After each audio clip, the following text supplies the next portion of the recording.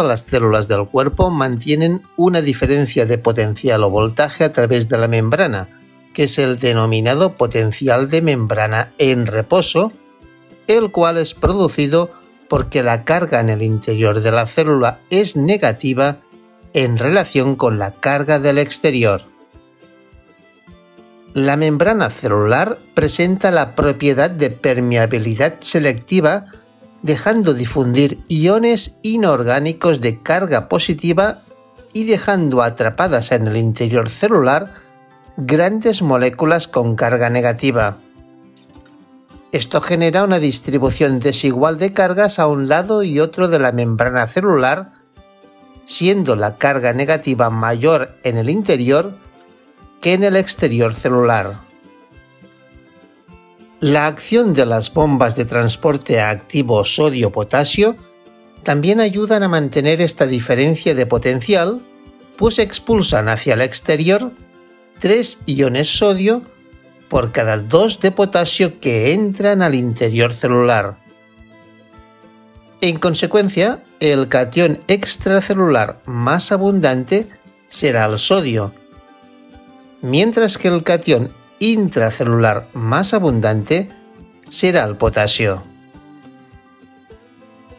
La membrana que presenta un potencial de membrana se dice que está polarizada, es decir, tiene un polo negativo o lado en el que hay un exceso de iones negativos o defecto de positivos, que es el interior celular, y otro positivo o lado en el que hay un exceso de iones positivos o defecto de negativos, y es el exterior celular.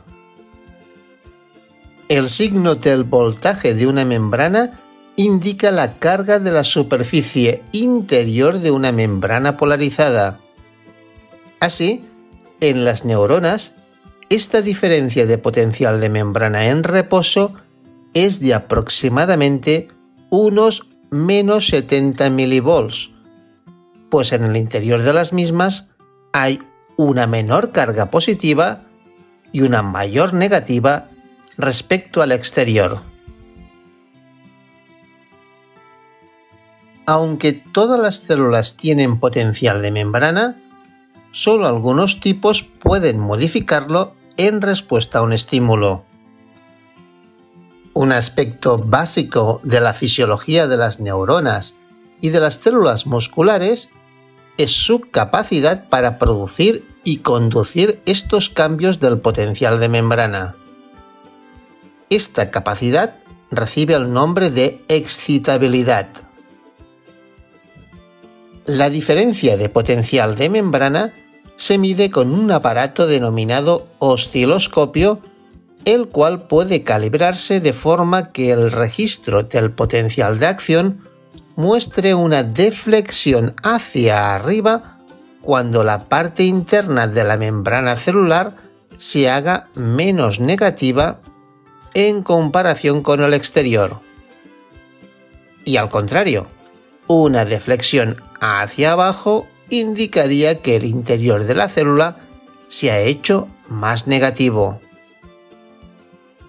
Así, si un estímulo adecuado hace que penetren cargas positivas en la célula, la línea de registro del osciloscopio sufrirá una deflexión hacia arriba.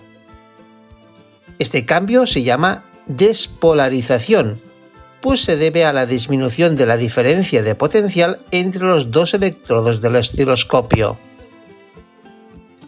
La recuperación del potencial de membrana, es decir, el restablecimiento del diferencial negativo inicial se denomina repolarización. Este movimiento de iones a través de la membrana plasmática con el consiguiente cambio en su polaridad se denomina potencial de acción, el cual se transmite a lo largo del axón constituyendo el impulso nervioso o forma de comunicación que tienen las neuronas entre ellas. Los iones protagonistas en el desarrollo de este potencial de acción son el sodio y el potasio. la entrada de sodio al interior celular determina un aumento de la carga positiva en su interior, con lo que éste se hace menos negativo respecto al exterior. En un principio, la disminución de la diferencia de potencial es lenta hasta que se alcanza un valor determinado de potencial a partir del cual se produce una brusca despolarización. Este punto en que se observa un cambio brusco en la diferencia de potencial se denomina umbral de despolarización. En ese momento, las propiedades de permeabilidad de la membrana cambian y el sodio difunde según su gradiente de concentración, con lo cual penetra en la célula. Una fracción de segundo después de su apertura, los canales de sodio vuelven a cerrarse. Inmediatamente antes de hacerlo, el estímulo de despolarización hace que se abran las puertas del potasio con el consiguiente aumento de permeabilidad al potasio el cual difundirá según su gradiente de concentración hacia el exterior celular. Las puertas de potasio se cierran de nuevo y las propiedades de permeabilidad de la membrana vuelven al estado en que se encontraban en reposo. Se ha producido la repolarización. En conjunto, en una neurona típica, la fase de despolarización y la de repolarización forman un potencial de acción que dura alrededor de unos 5 milisegundos. En la producción de un potencial de acción no intervienen directamente los procesos de transporte activo. Tanto la despolarización como la repolarización se efectúan por difusión de los iones según sus gradientes de concentración.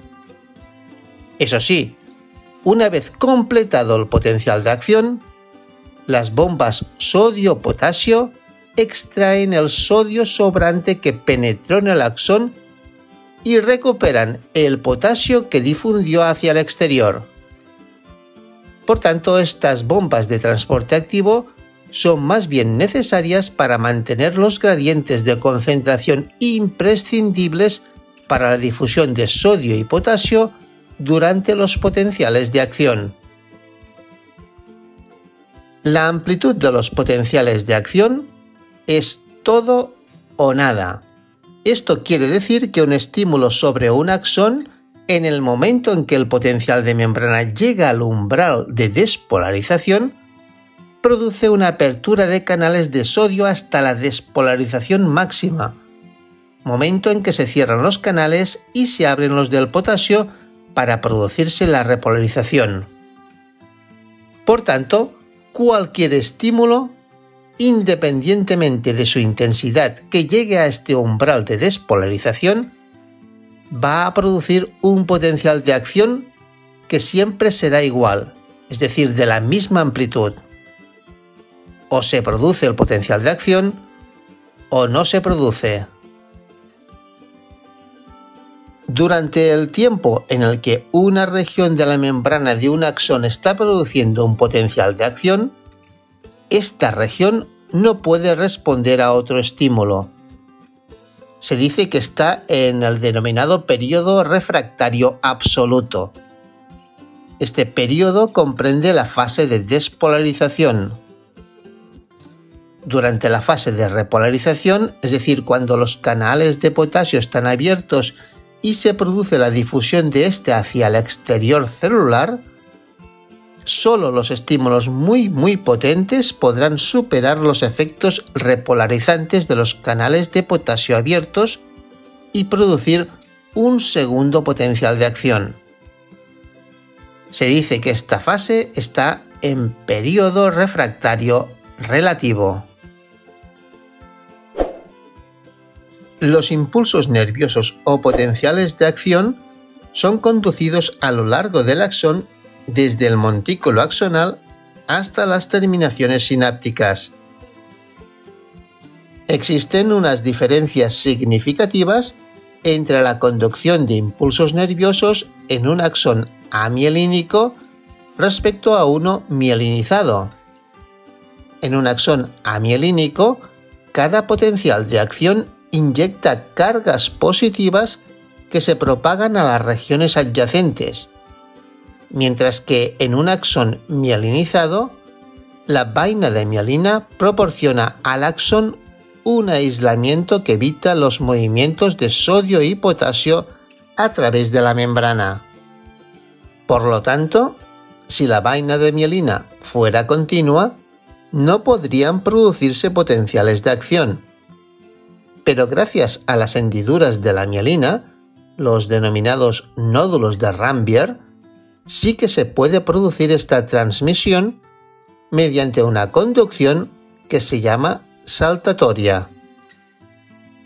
La conducción del potencial de acción o impulso nervioso es pues más rápida en un axón mielinizado que en un axón amielínico. Las velocidades de conducción en el sistema nervioso humano oscilan entre un metro por segundo en las fibras amielínicas finas que participan en las respuestas viscerales lentas y de 100 metros por segundo en las fibras mielínicas gruesas que intervienen en los reflejos rápidos de estiramiento de músculos esqueléticos. Un potencial de acción no muere en el terminal axonal. Este desencadena una reacción en cadena que va a llevar a la liberación de unas sustancias denominadas neurotransmisores en la sinapsis o zona de unión entre dos neuronas. A través de estos neurotransmisores, el potencial de acción se va a desencadenar o no en la neurona contigua. Pero eso ya lo veremos después de estudiar adecuadamente el concepto de sinapsis y su clasificación.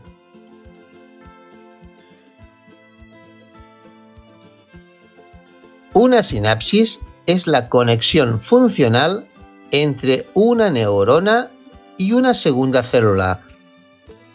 En el sistema nervioso central, esta otra célula es también una neurona. Mientras que en el sistema nervioso periférico, la otra célula puede ser una neurona o una célula efectora de un músculo o una glándula. La sinapsis entre neurona y neurona suele consistir en una conexión entre el axón de una de ellas y las dendritas, cuerpo celular o axón de la segunda. Así pues, las sinapsis pueden ser axodendríticas, axosomáticas y axoaxonales. En algún caso, la conexión puede ser entre dendritas, las denominadas sinapsis dendrodendríticas. En casi todas las sinapsis, la transmisión solo se produce en una dirección, desde el axón de la primera neurona, la denominada presináptica, a la segunda neurona o postsináptica. Lo más frecuente es que las sinapsis se establezcan entre el axón de la neurona presináptica y las dendritas o el cuerpo celular de la neurona postsináptica. Según el modo de transmisión sináptica, podemos considerar dos tipos de sinapsis, las sinapsis eléctricas y las sinapsis químicas. En el caso de las sinapsis eléctricas, las células se mantienen unidas mediante las denominadas uniones comunicantes. En este tipo de uniones, las membranas de ambas células están separadas por solo 2 nanómetros y estas uniones están formadas por proteínas denominadas conexinas. Este tipo de sinapsis se encuentran en las células musculares cardíacas y en algunos tipos de células de músculo liso. También se han encontrado estas uniones en varias regiones del cerebro donde se desconoce su significado funcional, aunque se ha propuesto que podrían permitir la transmisión de los impulsos en dos sentidos, al contrario de lo que sucede en las sinapsis químicas, que solo permiten la transmisión en un solo sentido. Por su parte, la sinapsis química es la sinapsis típica del sistema nervioso. Las terminaciones presinápticas llamadas botones terminales debido a su aspecto hinchado, están separadas de la célula postsináptica por la hendidura sináptica, de aproximadamente 10 nanómetros. En las terminaciones de la neurona presináptica, las moléculas neurotransmisoras se encuentran en el interior de muchas pequeñas vesículas sinápticas rodeadas de membrana para que el neurotransmisor contenido en estas vesículas se libere hacia la hendidura sináptica, la membrana de la vesícula debe fusionarse con la membrana del axón mediante un proceso de exocitosis. Pero, ¿cómo se produce esta exocitosis y la consiguiente liberación del neurotransmisor al espacio sináptico? Esta liberación se produce cuando los potenciales de acción llegan al extremo del axón, donde existen numerosos canales de calcio, los cuales se abren y permiten la difusión del calcio al interior del axón. El calcio activa una proteína reguladora existente en el citoplasma y que es conocida como calmodulina, que a su vez estimula una proteína denominada proteinquinasa que es capaz de fosforilar, es decir, añadir un grupo fosfato a proteínas específicas denominadas sinapsinas que están presentes en la membrana de la vesícula sináptica. Esta acción podría facilitar la fusión de las vesículas sinápticas con la membrana plasmática. Una vez liberadas las moléculas del neurotransmisor en los terminales axonales presinápticos, difunden con rapidez a través de la hendidura sináptica y alcanzan la membrana de la célula postsináptica. A continuación, estos neurotransmisores se unen a proteínas receptoras específicas que forman parte de la membrana postsináptica esta unión del neurotransmisor con su proteína específica hace que se abran los canales iónicos de la membrana postsináptica. Según los canales que se abran, el potencial de acción se continuará transmitiendo o no, es decir, será perpetuado o será inhibido. Supongamos que se abren los canales de sodio y de potasio.